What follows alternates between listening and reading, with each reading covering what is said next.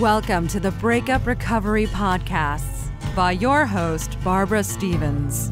Discover the wisdom and remarkable insights of Barbara Stevens, breakup recovery mentor, author, and public speaker. Barbara offers programs and solutions for any breakup so you can turn your life around, create lasting changes for the better, and embrace life again. Hello and welcome to Breakup Recovery Podcast. I'm Barbara Stevens, your host. This is episode number 055, the best of Breakup Recovery podcast for the past year. I can't believe it's been a year already since the first episode of Breakup Recovery was published on iTunes. I started with the who, what, and why.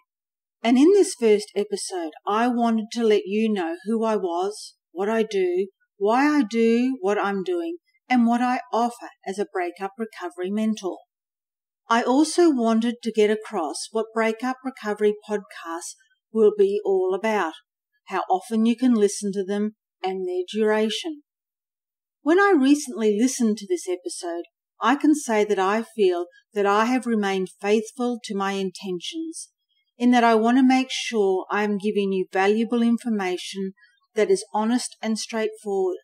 I want to give you key skills, strategies, and tools that you can take away and implement them in your lives now and start to make a difference in the way you think and act now. I am committed to assisting you when you are going through a breakup, when you are feeling lost and alone and don't know where to turn. I want you to regain your self confidence. I want you to rebuild your life through empowering and inspiring changes to enrich your life for the better. In this one year anniversary episode, I have looked at a number of downloads for each episode over the past 12 months and gathered the top five downloaded episodes and drawn from them the important information, strategies, skills, and techniques to share in this best of breakup recovery for the past year. I also have a free giveaway that I will mention at the end of this podcast. So stay tuned to the very end to get the details on how you can get my free giveaway. When I compiled the top five episodes for the year, I didn't include the very first one, as I feel that this episode will always be the top downloaded one, as people listen to it to gain some understanding of what breakup recovery is all about. I'm going to give you a brief overview of each of the five most downloaded episodes and feel free to go back and listen to them in full on iTunes. So let's start with the fifth most downloaded breakup recovery episode. And that would be episode number 031. Three things to remember if your partner ends the relationship. In this episode, I talked about how it can be so painful for you when your relationship ends and you don't want it to. Or if you had no idea that your partner was feeling in a way that they wanted to end the partnership. You may have been in a relationship with your ex for a long time or a relatively short time. It probably doesn't really matter the length of time.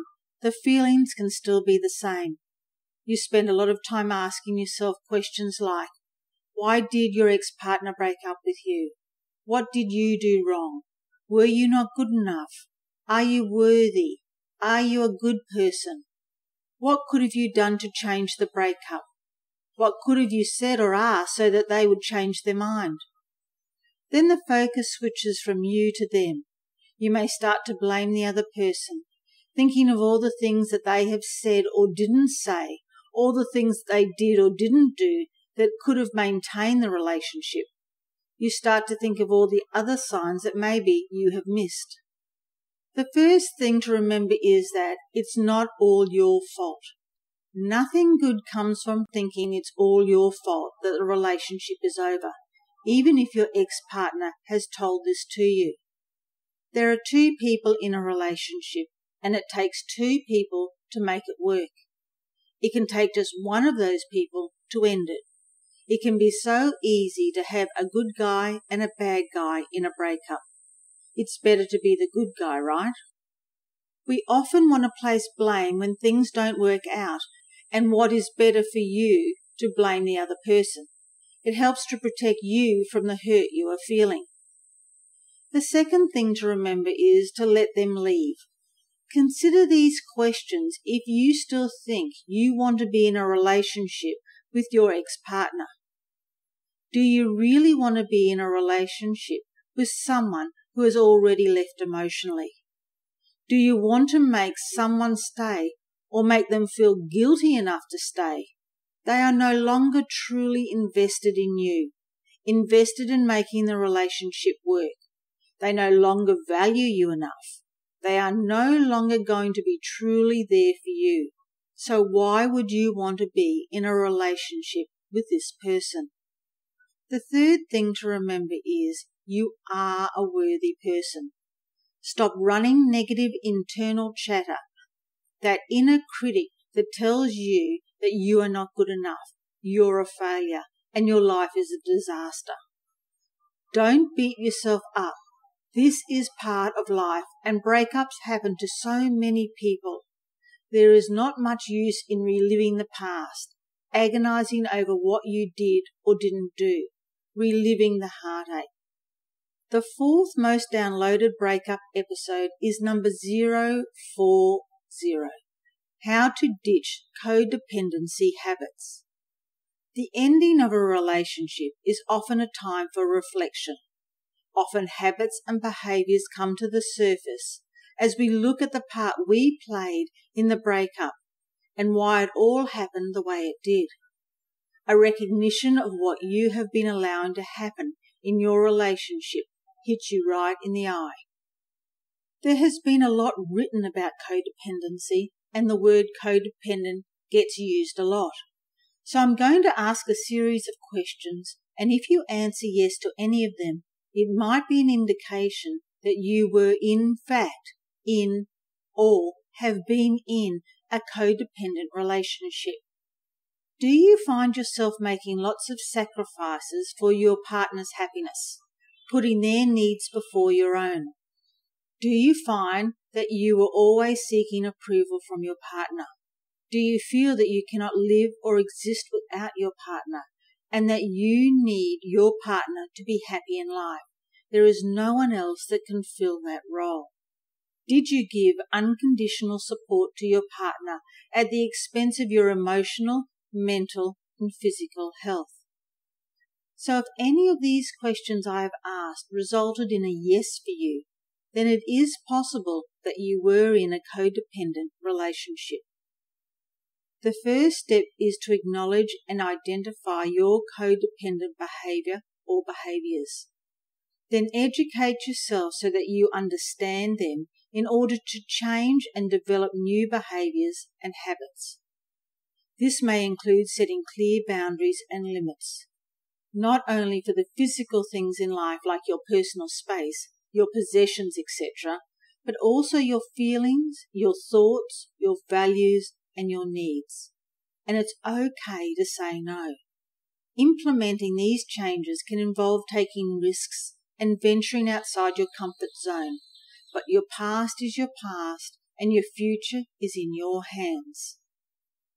The third most downloaded breakup recovery episode is number 026 Three Ways to Stop Overthinking Your Breakup. This episode is all about me wanting you to understand the implications if you are overthinking everything about your breakup the mental and physical effects this process has, and how overthinking is counterproductive to your well-being. You can get stuck inside your own head. It feels like there's no way out. You're overanalyzing your breakup, regretting actions you took, worrying about your future, pondering the could-ofs, would-ofs, and should-ofs, replaying scenes from the breakup and feeding the negative self-talk so it becomes part of your everyday life. So do you overanalyze your problems and replay them over and over again in your mind? Are you doing this so much that you are having difficulty even making a decision? This behavior can lead to increased anxiety levels, stress, and worry. So, how do you stop negative post breakup thoughts and these feelings taking over your life? The first way I offered was to accept that you are an overthinker. If you're still wondering if you are overthinking not just with your relationship breakup, but with other things in your life, here are a few signs you may be an overthinker in general. Do you think more than you do? You think so much you actually don't do anything. Do you find it difficult in letting things go? What I mean by this is, are you continuing to think about it even after you believe you've already let it go? Do you want to know all the whys to a problem? Do you want to get everything right? Are you a perfectionist? Do you always want to get all your ducks in a row before you attempt the solution? The second way to stop overthinking your breakup is to challenge your beliefs. So challenge your thoughts and beliefs. Are they true? And adding any value to your current situation. When you have these thoughts, I would like you to ask some of these questions. What's the evidence that the thought is true?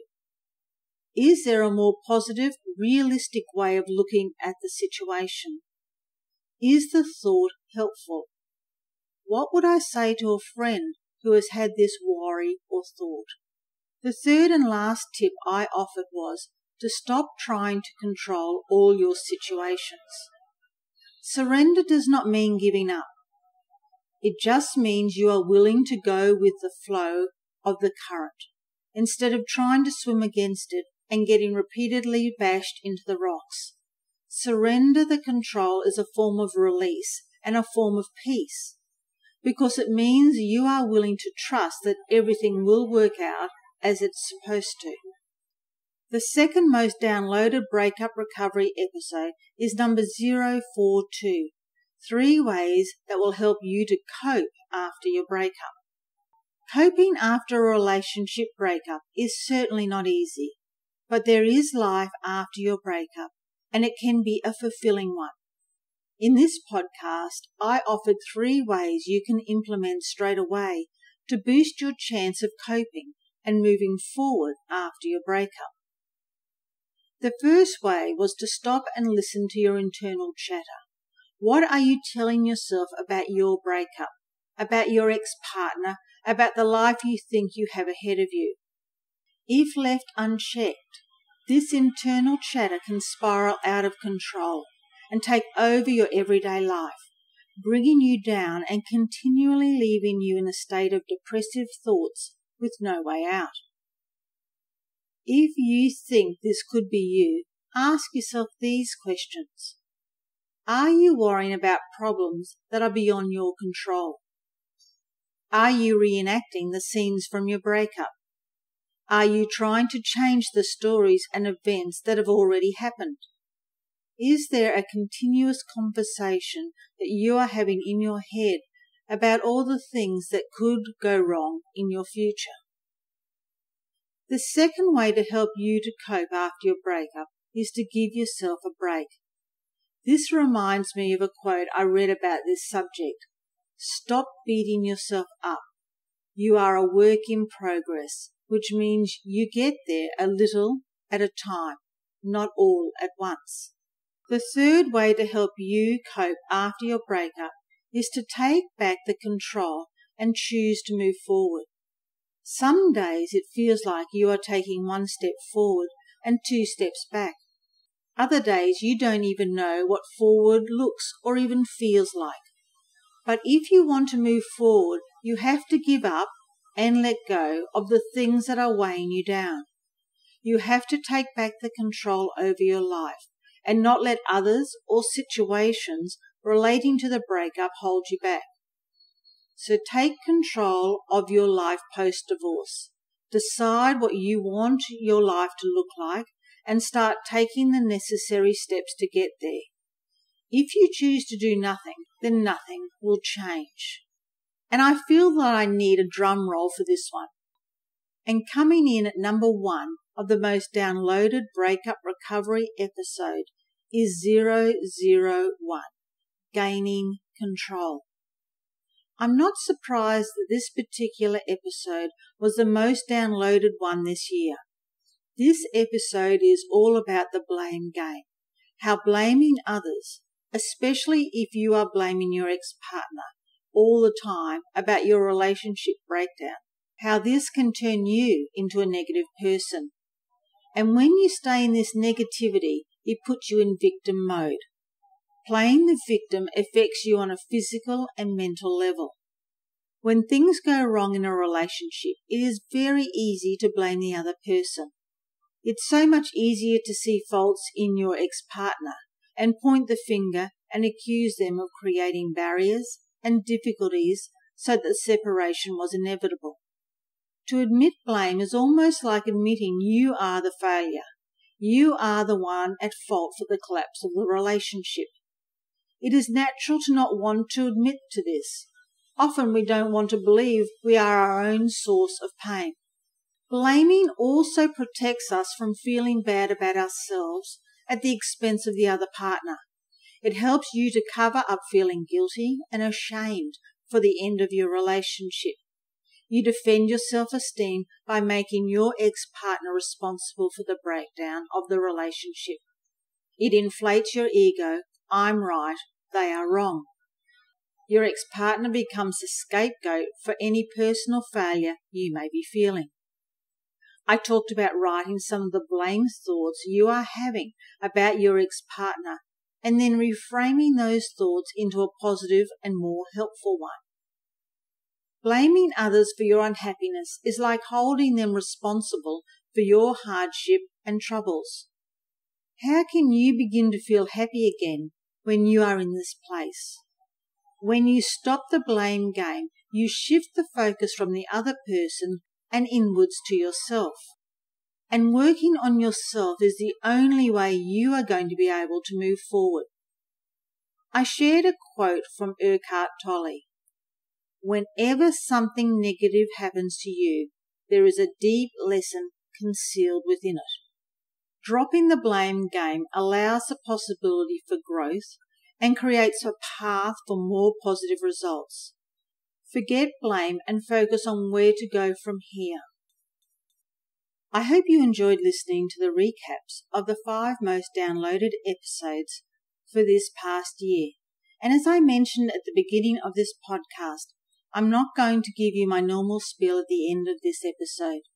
I just want to give back to the breakup recovery community that have supported me in this journey over the past year.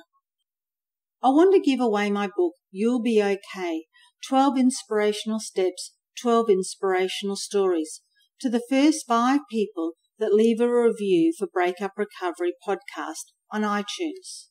In my book, You'll Be Okay, the 12 inspirational steps provide easy and practical techniques to accelerate the recovery process. In a collection of 12 inspirational stories, you will read moving and personal accounts of love and loss Find inspiration, learnings, and strength from real stories shared by real people. Now, to do this, you have to go into iTunes and search Breakup Recovery and click on the podcast. At the top of the page, you'll see the Breakup Recovery logo. And to the right and under the words Breakup Recovery Podcast, Barbara Stevens, breakups, separations, divorce, etc., there are some headings. Details, ratings and reviews.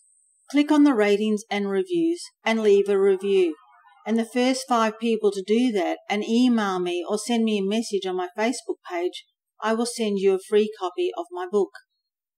I look forward to reading the reviews and sending you my book. I would also like to say thank you for your support, the messages, the connections, and the number of downloads Breakup Recovery podcast gets each week. I love doing what I do I love helping people get back on track after their breakups. I look forward to bringing you more valuable content in the next 12 months. As usual, I love hearing your feedback on the episodes and the subjects you want me to cover. So keep those coming in via my website www.barbarastevens.com.au or my Facebook page, Barbara Stevens Breakup Recovery Mentor. And the last thing I'd like to say is be gentle on yourself. You deserve happiness. If you would like to hear previous Breakup Recovery podcasts, visit barbarastevens.com.au. Connect with Barbara Stevens on social media with Barbara Stevens Breakup Recovery Mentor on Facebook and at You'll Be Okay on Twitter. Read further blogs, view webinar replays, and download your free ebook, Three Easy Steps to Surviving Your Breakup, and much more at barbarastevens.com.au.